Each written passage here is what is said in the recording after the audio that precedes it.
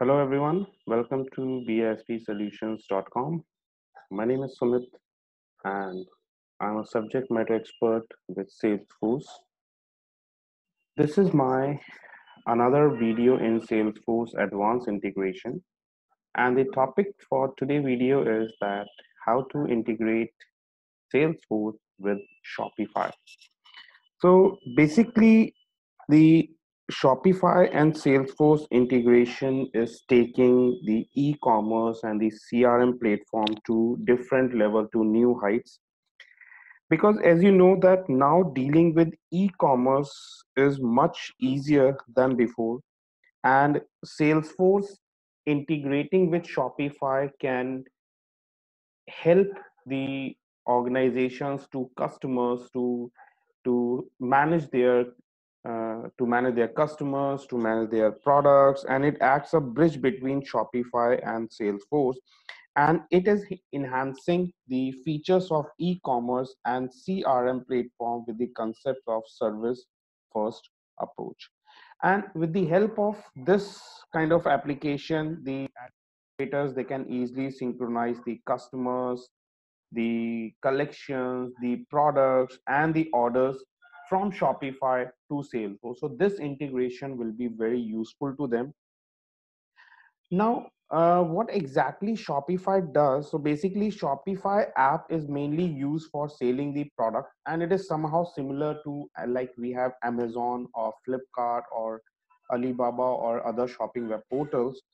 And to sell the products in Shopify, we must have to uh, we need to have a store in Shopify and then there are various connectors available which helps us to perform an integration between Shopify and Salesforce.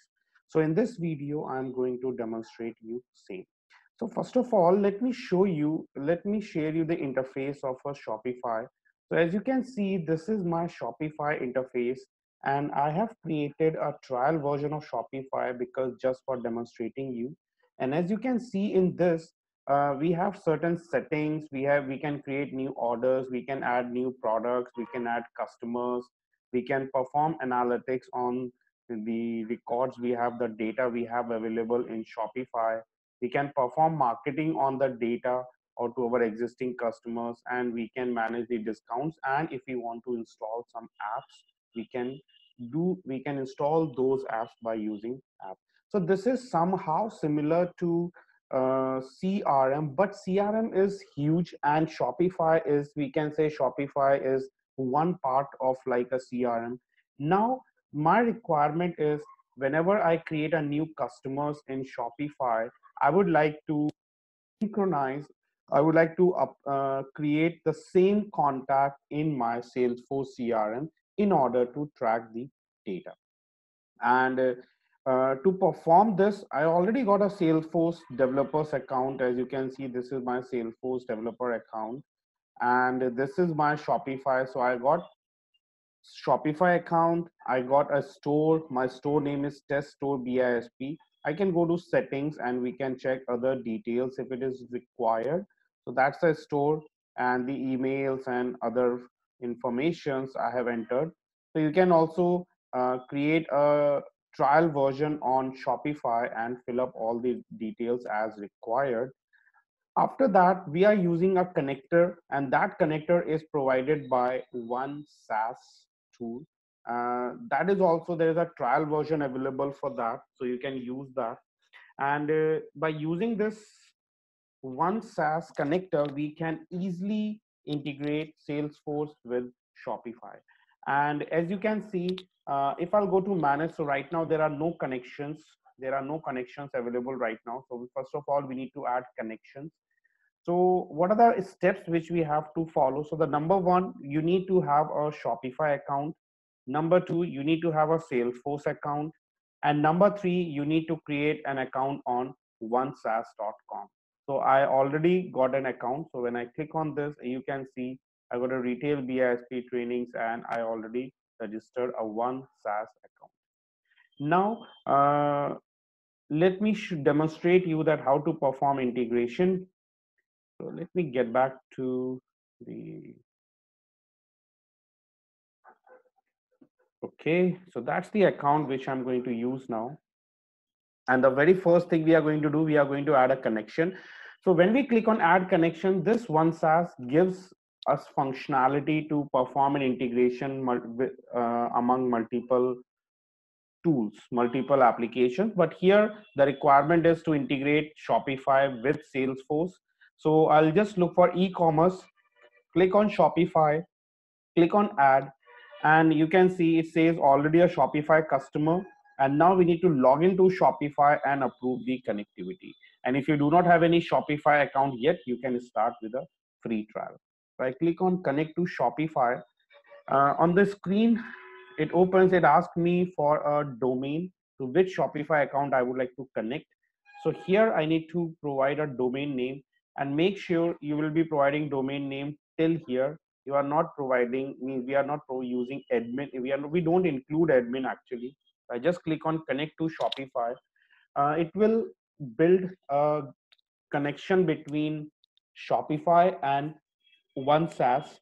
And you can see so the connection is done successfully and one connection has been built. Now the another connection we have to build between the one SaaS and Salesforce. So again, I click on add connection, look for CRM, Salesforce CRM, click on Salesforce and connect to Salesforce.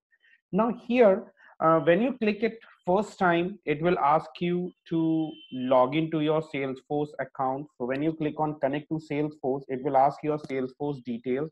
In my case it's not going to ask any uh, any details because i have already permitted. You can see it's verifying connection to salesforce. Because my salesforce is already open and i've already tried once so that's why it's not asking permission from me but just in case if you are doing it very first time you need to permit one saas to uh, fetch the data from your salesforce so to perform an uh, connectivity with your salesforce so that you have to do in very first step. Now you can see uh, the connectivity has been done and uh, the Shopify is connected with Salesforce. So there is a connection has been connection has been set up between Shopify and Salesforce. Now there are certain settings which we can set. So my requirement is that whenever we create a customer in Shopify, we would like to create a contact in Salesforce. So I just select this option and I don't want to sync it manually. So first of all, I save this and I don't want to sync it manually. So I say turn auto sync on. If you're so even if you're not uh, so next sync in 40 minutes in every 40 minutes it is going to sync. But just in case if you want to sync uh, quickly as per your requirement, you can manually sync also. You can perform manual sync also. So now as you can see i have clicked on man, uh, manual syncing so it's trying to synchronization. But right now there are no customer records. We don't have any customer records at present. So nothing to add in salesforce. So let it wait. And uh, it's loading and you can see no data was synchronized for this work workflow so there was no record for synchronization now let me do one thing, let's test it out. And in order to test it, I'm going to add a new customer in my Shopify and let me add a new customer details.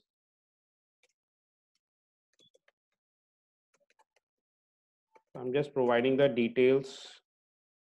9.1 is already there, so I'm just providing. And the first name, that's for address actually. Address.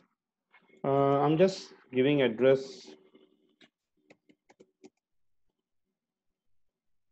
City bhopal india madhya pradesh.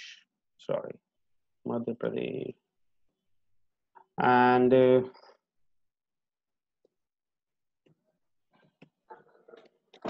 it doesn't collect text no taxes and okay that's all now let me save this record.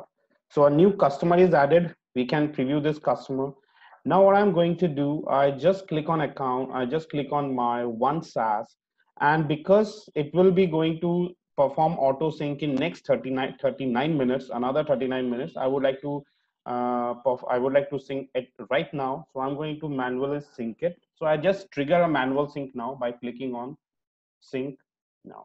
And now once the sync synchronization is completed successfully, we will be going to have a look that a new record will be added in our Salesforce contact uh, object. So let's have a look. Let it finish first, and then I'm going to have a look that uh, the record is inserted or not. So let the synchronization process complete. So synchronization process is completed, and you can see I got a report that one contact created in Salesforce, which is named as so it's successfully done. Now let's go and verify. So I'm going to navigate to my Salesforce and in my Salesforce, I'll go to contact and you can see a record has been inserted. A record is inserted here. And if we preview this record, we can see the details of these this record. Can see, okay, all the records which we entered over there is coming here. So that's the way we can uh, perform an integration between the Shopify and Salesforce to create customers. We have other functionalities like whenever we create a new order in Shopify, it will create an opportunity. Whenever we create an order, it will create a new order in Salesforce. Or whenever we add a product in Shopify, it will create a new item in Salesforce. So we have such kind of uh, integration. So that's the way how we can track the records, how we can track the data from Shopify into Salesforce. So uh, this process keeps going on until we do not stop the synchronization. So that's all in this video. I hope you like this video and you got an idea that how an integration between Shopify and Salesforce. If you have some queries, you can post your comments in comment box. If you need a customized training on Salesforce, you can contact us. Thanks for watching. Have a nice day. Goodbye.